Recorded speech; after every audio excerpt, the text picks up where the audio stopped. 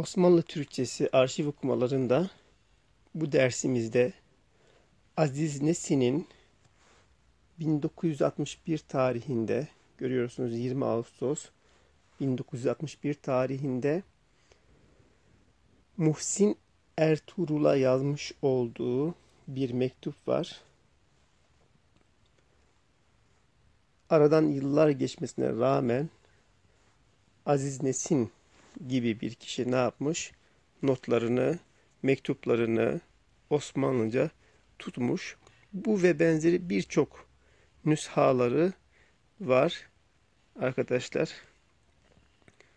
Aslında bu da bize neyi gösteriyor? Osmanlıcanın zor olmadığını ki Aziz Nesin'in de yaşını düşünürsek harf inkılabı yapıldığında 13-14 yaşlarında, 12-13 yaşlarında bir çocuk iken öğrendiği alfabeyi ömrünün sonuna kadar kullanmıştır ki ömrünün son demirlerine kadar elimizde Aziz Nesin'in Osmanlıca notları var.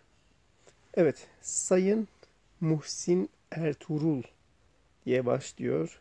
Üç ay önce lütfettiğiniz beni piyes yazmaya özendiren kartınızda doğrusunu söylemek lazımsa ben hikayelerden çok bir piyes bekliyordum diyordunuz.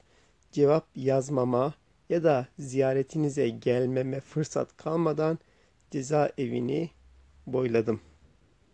Evet yukarı kaldıralım. Mektubumuz arkadaşlar üst sayfa. Biz birinci sayfasını okuyacağız bu dersimizde. Nasipse diğer derslerimizde diğer mektupları geri kalan sayfa okuruz.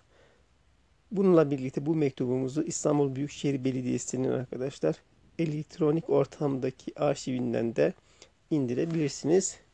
Evet ne kadar çok meşgul olduğunuzu bildiğim halde içimi dökmek ihtiyacını duyuyorum. Beni birazcık dinlemek lütfunda bulunur musunuz?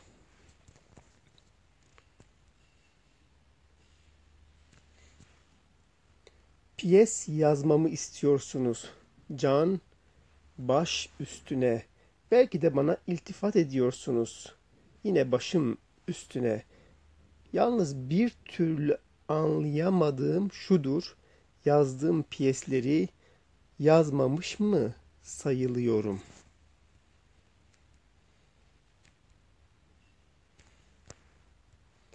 Tiyatronun tutkunuyum.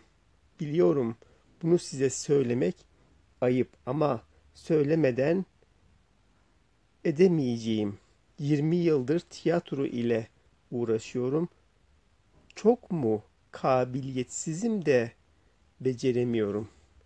Yazdığım piyeslerden iki tanesini kitap olarak bastırdım. Bunlardan biraz gelir misiniz adlı olanı okumuş benim için çok büyük değeri olan düşüncelerinizi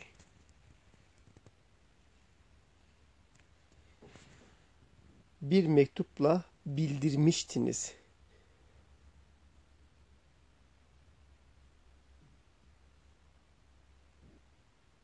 Arkadan evet arkadan bir şey yap bir şey yap met evet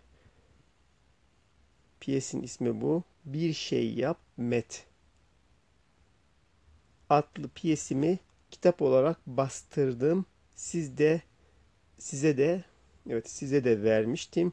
Okuduğunuzu evet okuduğunuzu okumaya fırsat